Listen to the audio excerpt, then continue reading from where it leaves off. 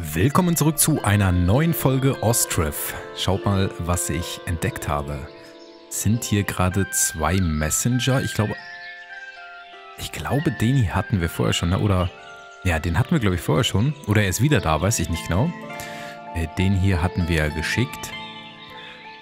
Und was mir aufgefallen ist, ich weiß nicht, warum ich das beim letzten Mal nicht gesehen habe. Der will Charcoal und Chicken Eggs haben. Und wir haben 270 Charcoal. Und sogar 90 Chicken Eggs. Wobei, ja, bei der Nahrung wäre ich vielleicht ein bisschen vorsichtig. Äh, lass uns doch mal gucken, was wir dafür bekommen. Ähm, Charcoal. 8. Kann ich das mehrmals machen? Nein, schade. Schade, schade, schade, schade. Ja, äh, wer Charcoal haben möchte, der kriegt natürlich Charcoal also Holzkohle. Äh, 20 Stück müssen wir einlagern und von den Eggs, oh, davon kann man ein bisschen mehr abgeben. Aber dafür kriegen wir auch nicht so viel. Und wir würden jetzt für 100, die wir nicht haben, würden wir 10, 10 bekommen. Nee, das mache ich nicht. Aber die Charcoal. So, dann kann ich die Pause auch endlich loslassen und dann sollte jetzt ein erster Wagen kommen, der das Zeug abholt. In der Zwischenzeit müssen wir natürlich ratzfatz das Zeug hier einlagern. Und zwar 20. Ganz ehrlich, ich packe hier schon mal 100 rein, weil, äh, ja, ne? Wenn er das öfters haben möchte, ist das eine super Einnahmequelle. Gut, äh, wo waren wir stehen geblieben? Wir waren stehen geblieben bei der, ähm, bei dem Aufbau der Kleiderproduktionskette. Und zwar steht hier schon die Webstube. Hm.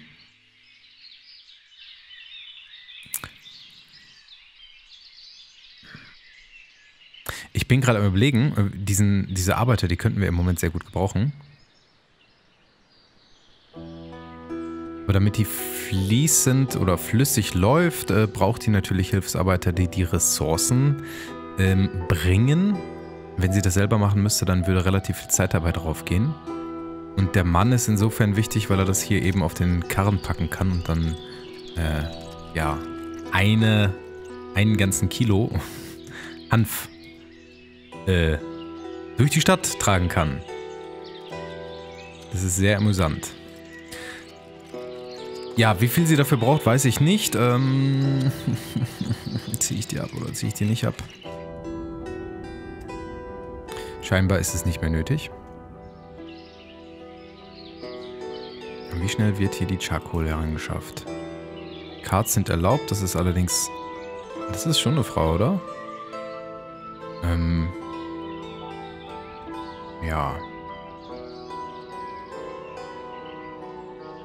Ist ja noch jede Menge Frauen.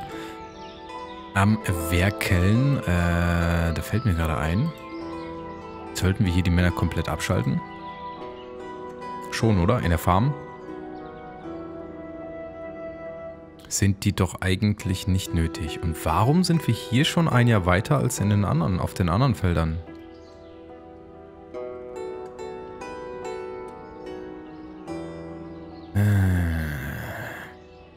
Ich hoffe, dass wir das hier fertig kriegen. Es ist schon September.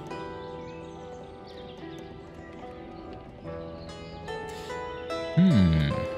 Was, war, was ist das denn hier? Buchweizen? Äh, wenn die das nicht hinkriegen, dann sollten wir tatsächlich dafür sorgen, dass wir mehr Laborer einstellen.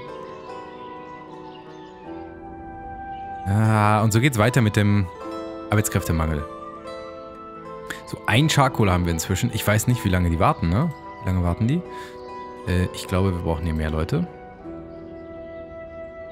Äh, oh, okay, 20 ist das Limit der Zeit. Okay, da sind jetzt zwei Männer hinzugekommen. Beobachten wir mal. Mach mal ein bisschen schneller.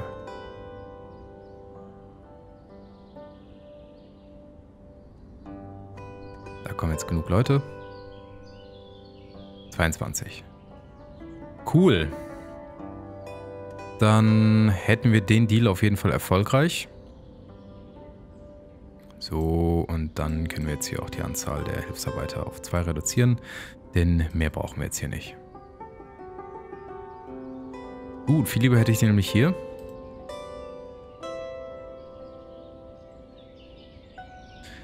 Äh, September, wann fängt denn der Winter an? November, oder? Oder erst im Dezember?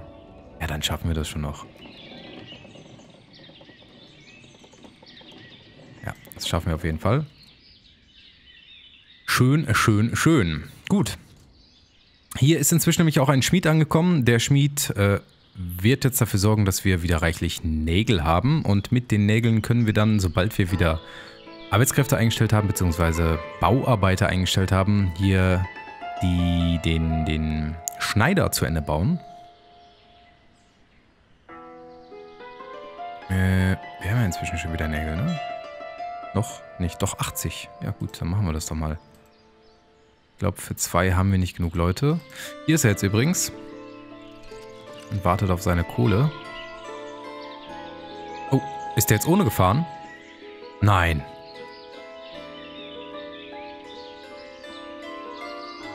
Nein! Der Deal ist geplatzt.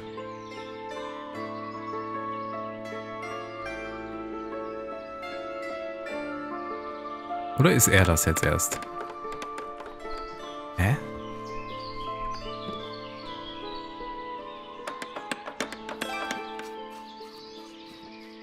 Machen die Leute denn? Wo ist denn der hier?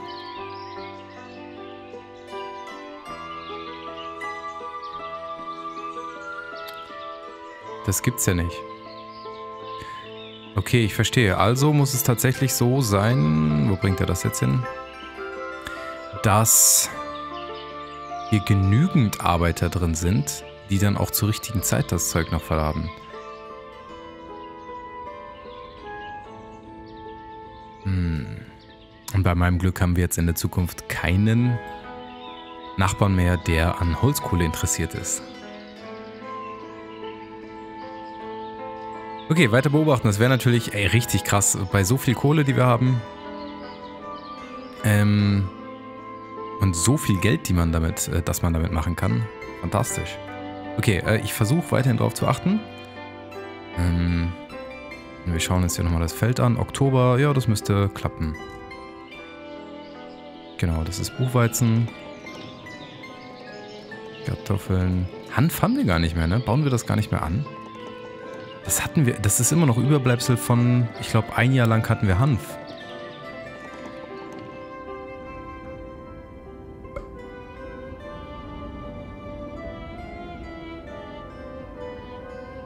Macht es Sinn, noch ein Feld anzulegen bei einem Bauernhof oder macht es eher Sinn, einen zweiten Bauernhof dafür zu bauen? Das würde mich interessieren. Unser zweiter Ochs ist übrigens sieben Monate alt. Wir können es dann im nächsten Jahr, gerade Oktober, November, Dezember, Januar, Februar, doch im nächsten Jahr könnte man den wahrscheinlich, wenn denn dann der Carpenter, der, äh, was ist denn Carpenter eigentlich? Tischler? Ähm, ja, mir fällt gerade nichts Besseres ein. Wenn er denn dann äh, schnell genug in der Herstellung des Flugs ist.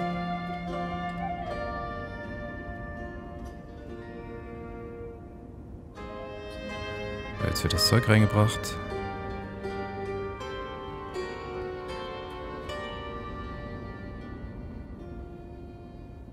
Und die Granary holt sich das wahrscheinlich auch direkt ab. Wie schaut es denn jetzt aus? 5 Tonnen Fisch. Ich sag manchmal Tonnen, manchmal Kilo. Tut mir leid. Äh, Kilo ist irgendwie so unrealistisch, aber eine Tonne mit dem Karren zu schleppen ist auch unlogisch, beziehungsweise 100 Kilo per Hand. Ähm, wir haben fünf Einheiten Fisch, zweieinhalb Einheiten Mehl, ein bisschen was an Kartoffeln, äh, ein bisschen was an Eiern. Und da kommt jetzt aber jede Menge neun Einheiten Kartoffeln hinzu und jede Menge Mehl und 13, 14 äh, Einheiten Buchweizen. 15 sogar. Ja, hier liegt noch ein bisschen was rum. Schön. Gut, äh, dann hatte ich mir noch aufgeschrieben, Holzcheck. Müssen wir hier neue Leute einstellen? Wood 300, Firewood 300. Nein, müssen wir nicht. Und ähm, mehr Chicken, Nahrungscheck. Hatte ich mir auch aufgeschrieben. Oh, wir haben hier 200 Eier. Das ist krass. Jetzt haben wir übrigens auch die ganzen 30 Hühner hier. Das heißt, von nun an müsste es eigentlich... Müssten die Hühner, ähm, die überflüssigen Hühner zur Schlachtung vorgesehen werden. Wie wäre es denn, wenn ich das hier auch auf 30 erhöhe? Kriegen wir dann einfach nur mehr Schlachtfleisch? Also von nun an haben wir jetzt den kompletten, ähm, ja, die komplette Möglichkeit an Eiern, die gelegt werden können, wahrscheinlich erschöpft. Und alles, was jetzt hinzukommt an Küken, wird dann eben geschlachtet. Warum sollten wir das nicht aufziehen? Weil wir gegebenenfalls nicht genug Weizen haben?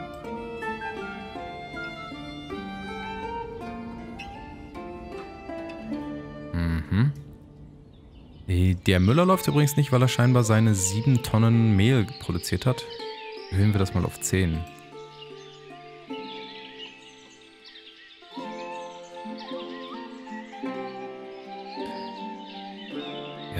glaube, wir können hier noch ein paar Hühner hinzunehmen.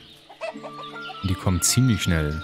15, 16, 17 und so weiter.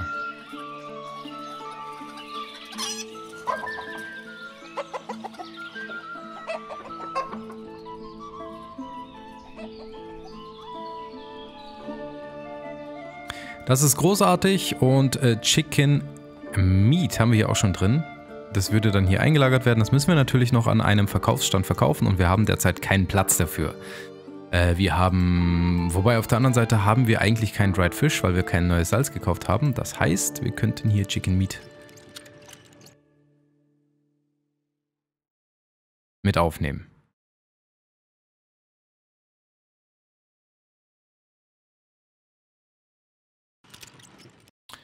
Das sieht doch gut aus. Oh. Okay, es gibt finanzielle Probleme. Machen wir ein bisschen langsamer. In der Familie Vivcharenko. Äh, wo arbeitet ihr denn? Unemployed, ach so. Und sie? Auch unemployed. Das ist natürlich nicht so schön. Und bei euch? Carpenter und unemployed. Okay. Dann müssen wir die Unemployment Rate hier noch ein bisschen, also die Arbeitslosigkeit ein bisschen senken. Momentan haben wir acht Leute, die nach Jobs suchen. Äh, was natürlich jetzt auch noch äh, ungünstig ist, weil wir die ganzen Fische entlassen werden. Und Werft. Aber wir finden schon Arbeit für die, da mache ich mir jetzt keine Sorgen. Dann könnten wir, wie viel Fetch haben wir? Genug.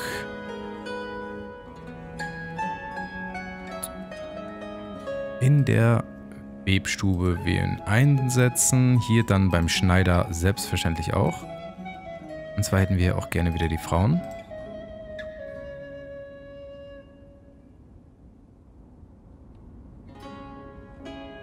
Könnten rein theoretisch auch noch einen weiteren Marktstand aufmachen. Ähm, schauen wir mal, wie wir das sonst so füllen können. Hier stelle ich zwei ein. Hier stelle ich alle vier sogar ein. Und ich glaube, der eine reicht hier immer noch. So, das heißt, zwei Männer sind derzeit noch arbeitslos. Einen weiteren Schmied.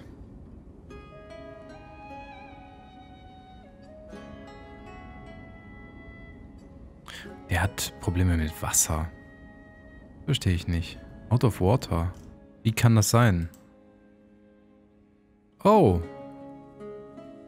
Ich wusste nicht, dass sie nur einen bestimmten, eine bestimmte Menge an Wasser zur Verfügung stellen. Well, Gut, dann bauen wir hier den Well direkt mal bei ihm in den Hof. Oder daneben.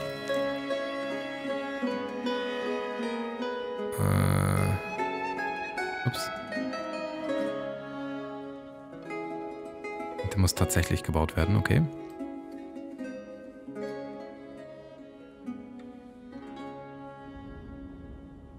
Ein Job ist noch offen. Hier brauchen wir eigentlich... Nie wir können den jetzt natürlich unnütz irgendwo einstellen. Machen wir auch, wenn wir keine bessere Verwendung dafür haben. Ja, komm. Sollen die hier zu zweit in der, in der Mühle arbeiten. Jetzt haben wir einmal wieder drei frei. Vier, drei, vier, fünf. Ah, mir fehlt die Leertaste Pause, habe ich schon mal gesagt. Ähm, fünf Männer, zwei Frauen, ohne Job.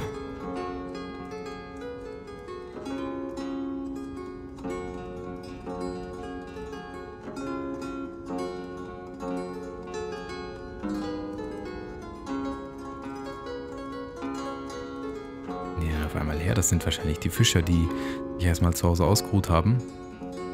Bis sie dann gemerkt haben, nee, zu Hause ist doch nicht so toll, ich, geh, ich muss wieder arbeiten gehen. So, dann mache ich hier tatsächlich noch eine dritte Marktdame, die dann Buchweizen verkauft und Chicken Meat und Chicken Eggs und Fisch.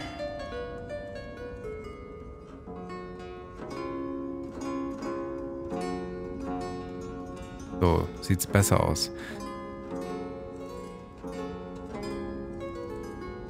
Arbeiter haben wir, das heißt, an dem Brunnen müsste gearbeitet werden, ne?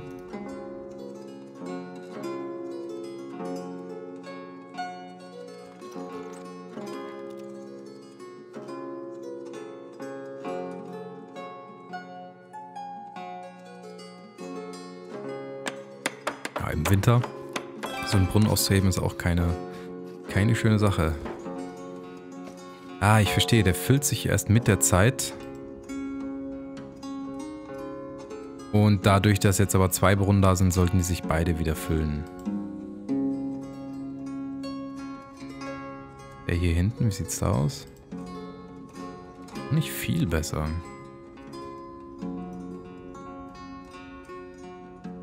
Ich glaube, das Problem ist, dass mehr Wasser reserviert war, als der Brunnen ähm, produzieren konnte oder gesammelt hat.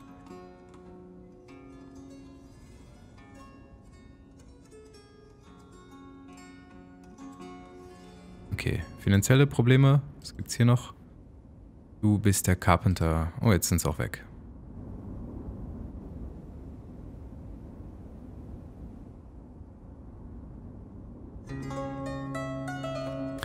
Schön, das war jetzt mal eine Arbeitsbeschaffungsmaßnahme, die ähm, uns jetzt gar nicht ermöglicht hat, zu gucken, wie das hier abläuft. In der Weberei werden die Stoffe hergestellt. Die Stoffe werden momentan noch nirgendwo zwischengelagert, ist aber, glaube ich, wahrscheinlich auch nicht nötig. Und die werden dann hier zu Cloth, also zu Kleidung verarbeitet. Die wiederum eingelagert werden sollte. Und wir haben dafür kein Warehouse. So viel zum Thema Arbeitsbeschaffungsmaßnahme. Ist unser Iron schon wieder weg? Ja, okay, hier liegen noch fünf Stück. Warehouse. Äh. Es macht wenig Sinn, das irgendwo anders hinzubauen, ne? Es sei denn, man will ganz bestimmte Ressourcen irgendwo zwischenlagern, die eben in einem bestimmten Gebiet äh, erforderlich sind, aber das ist eher so für die Allgemeinheit.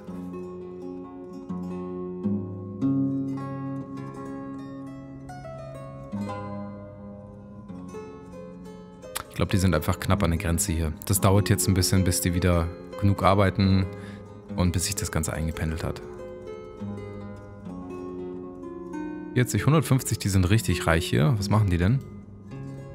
Der Händler, klar. Und äh, die Chefin der Farm. War das der Manager aus, der, aus dem Händler?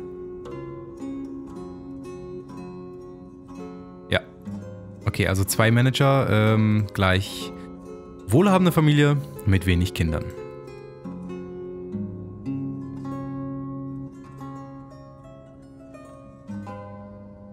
Und die besorgen sich hier richtig junge Frauen alle. 45, 25. Oh. Aber das gleiche ist. Was? Gott. Ich hoffe, das ist ein Bug.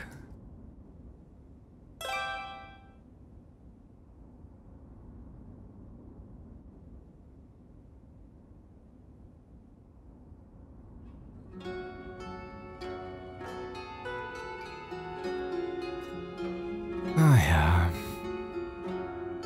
Ah, Händler. Händler, Händler. Pause, Pause, Pause. Äh, Offers Chicken brauchen wir nicht. Demand, Sunflower, Dried Fish, Sunflower Oil haben wir leider alles nicht. Tut mir leid. Ich würde gerne nochmal hier mit denen handeln. Aber wir warten einfach. Warum dafür Geld ausgeben? Die kommen schon wieder. Um dann unser Kohleexperiment fortzuführen. Ich wüsste jetzt gerne, ob man in diesen Ständen auch Kleidung verkaufen kann. Cloth. Ähm, mit denen wir dann sicher auch Geld machen können. Und alles, was übrig bleibt, können wir dann... Dann nehme ich den Fisch hier raus, weil Fisch haben wir in einem anderen Stand schon. Ein paar andere Sachen auch. Chicken Eggs und Chicken Meat, glaube ich, auch. Äh, und dann schauen wir mal, ob was überbleibt und ob wir damit nicht irgendwo Handel treiben können. Ich habe aber bisher auch noch keinen Demand gesehen. Vielleicht sollten wir tatsächlich in Sonnenblumen investieren. Das hatte auch vor ein paar Folgen ähm, ein schlauer Zuschauer, von dem ich nicht mehr weiß, wer es war, gesagt, dass man das unbedingt machen sollte, weil es relativ viel Kohle bringt. Aber äh, trotzdem, unser Städtchen wächst, unser Städtchen hat sich stabilisiert. Ich glaube, wir müssen ein bisschen auf die Finanzen achten. Man hat es jetzt ja in dieser Folge ein bisschen gesehen, so rund läuft das noch nicht. Aber ich habe keine Bedenken, dass wir das nicht auch in den Griff bekommen.